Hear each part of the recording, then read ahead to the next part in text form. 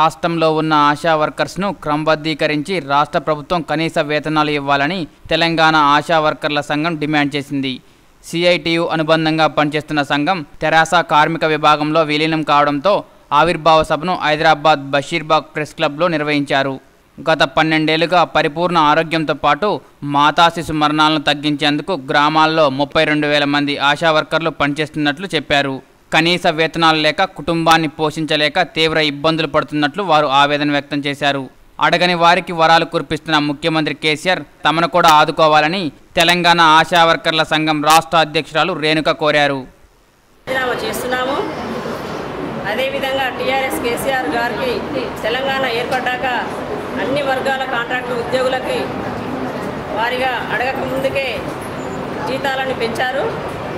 CPM CIT నాయకులు వారి ఉనికి కోసం మమ్మల్ని రెచ్చగొట్టి ఉద్యమాలు కుమ్మడిగా అందరము సిఐటికి రాజీనామా చేస్తూ అదేవిధంగా పది జిల్లాల నుండి వచ్చిన అధ్యక్షులము అంతా కలిసి ఈరోజు ఇక్కడ చిన్న మీటింగ్ పెట్టుకోవడం జరిగింది.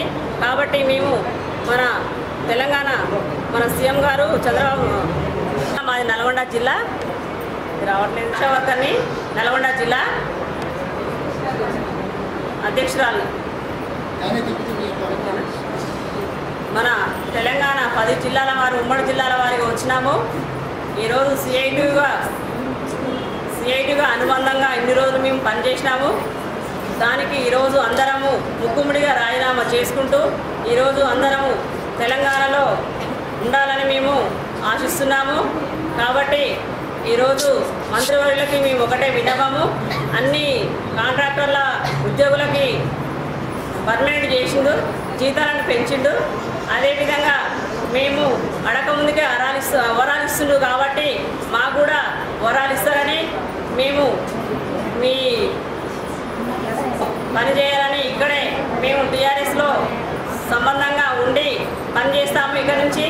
మాకు ఎలాంటి ఎవరు సంబంధం లేదు. స్వచ్ఛందంగా మేమందరము తెలంగాణలో పనిచేయడానికి సిద్ధంగా ఉన్నాము. రెండు వేల ఐదులో మేము పని స్టార్ట్ చేసినాము. ఎంఎంఆర్ తగ్గించడానికి వరకు మేము వచ్చినాము. కాబట్టి మేము పన్నెండు సంవత్సరాల సంధి చేస్తున్నాము. మాకు ఎలాంటి పారితోషికము తప్ప వేతనాలు ఏమీ లేవు. మేము రికార్డ్స్ మొత్తం ఇరవై ఒక్క రికార్డ్స్ మేము రాయాలి. నెల మొత్తం పనిచేస్తే వచ్చేది పదిహేను వందల రూపాయలు మాకు. కాబట్టి మాకంటూ జీతం చాలని అర్హులైన వారిని ఏనంగా తీసుకోవాలని ప్రమాద బీమా సౌకర్యం కలిగించాలని మేము ఎక్స్గ్రేషియా చెల్లించాలని ముఖ్యమంత్రి గారికి విన్నపించుకుంటున్నాము మా ఎందు మీ ఈ సంపూర్ణ విశ్వాసంతో మేము తెలంగాణలో పనిచేస్తున్నాము. మా ఎందు దయ ఉంచి మీరు మీ పిలుపు వరకు మేము తీయని కబురు కొరకు ఎదురు చూస్తున్నాము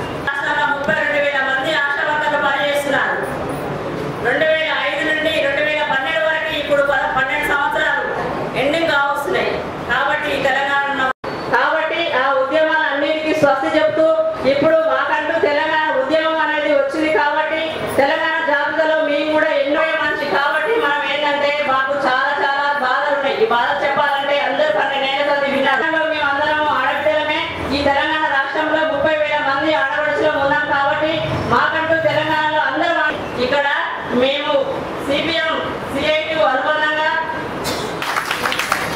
సిపిఎం అనుబంధ సంఘం సిఐటికి అన్ని జిల్లాల ముక్కుముడిగా మేము ఇప్పుడు ఈ వర్గాల కాంట్రాక్టర్లకు అందరికీ అడగక ముందుకే వరాలు ఇప్పుడు అడుగుతున్నాం కాబట్టి మాకు కూడా వరం ఇస్తారని మీకు వచ్చినారు.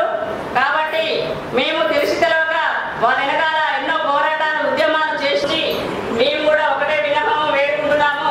ఈ తెలంగాణ ఆడపిల్లలని చూసి ఈ కేసీఆర్ కూడా మమ్మల్ని స్పందించి మాట్లాడారు ఓవరాల్గా మేము ఈ దుర్భర జీవితంలో కొట్టుమీట ఆడుతున్నాము ఈ ఈ ఆశావార్తలు ఉమ్మడి పది జిల్లాని ఈ సమక్షంలో మేము మీటింగ్ పెట్టుకోవడం జరిగి ఎవరు ఎక్కడ కాదు మాకు మేమే స్వచ్ఛందంగా వచ్చినాం సంపూర్ణ విశ్వాసంతో మాకు మాకు రేణుక. మేము సిపిఎం అనుబంధ సంఘం సిఐటికి అన్ని జిల్లాల నుండి ముక్కుముడిగా